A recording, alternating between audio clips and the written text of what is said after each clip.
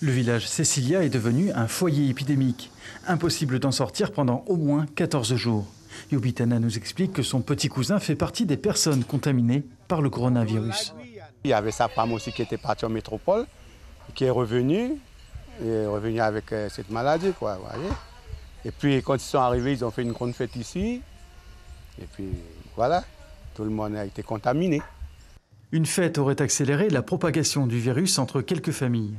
Aujourd'hui, ceux qui ne sont pas encore testés positifs au Covid-19 se demandent pourquoi les porteurs du virus ont refusé l'isolement qui leur a été proposé à Sinamari.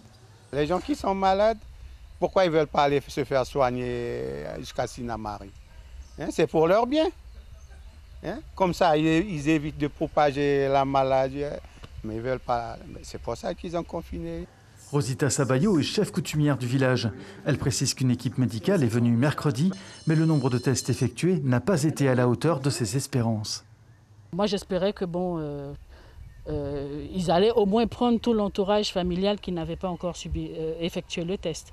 Mais bon, ils ont sélectionné, l'équipe médicale a sélectionné que les personnes qui présentaient déjà des symptômes du Covid-19, fièvre, maux de tête et tout. Et donc, du coup, ben, ben, il n'y en avait pas tant que ça. Et euh, au gros, en gros, je pense qu'il y a à peine eu six personnes qui ont, effectué le test. L'isolement total du village a pris de court de nombreuses personnes à Cecilia, y compris ceux qui étaient en attente d'examens médicaux lourds, comme cette jeune femme qui souhaite conserver son anonymat. J'ai vu euh, un médecin, il m'a redirigé vers un neurologue. J'étais censée faire des examens euh, par rapport à mon cerveau. Et je ne peux pas parce que les policiers m'ont dit que je n'avais pas l'autorisation d'y aller. Et je dois aussi faire des prises de sang et récupérer des médicaments à la pharmacie. Sachant que je suis enceinte, c'est compliqué pour moi. Autre inquiétude, la nourriture va rapidement manquer au cours des prochains jours.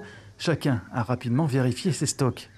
Eh bien là, euh, j'ai encore de quoi manger, mais avec le village, le, la responsable, chef du village, elle a fait un groupe WhatsApp et là, ce matin, elle nous a envoyé un document disant qu'on doit, on doit remplir hein, pour, euh, pour le nécessaire, euh, le besoin nécessaire. La mairie de Matoury vient d'annoncer que le ravitaillement en nourriture du village n'aurait pas lieu avant mercredi. Jusque-là, les habitants devront donc compter sur leurs propres réserves. Suivez l'info sur Guyana Première, télé, radio et Internet.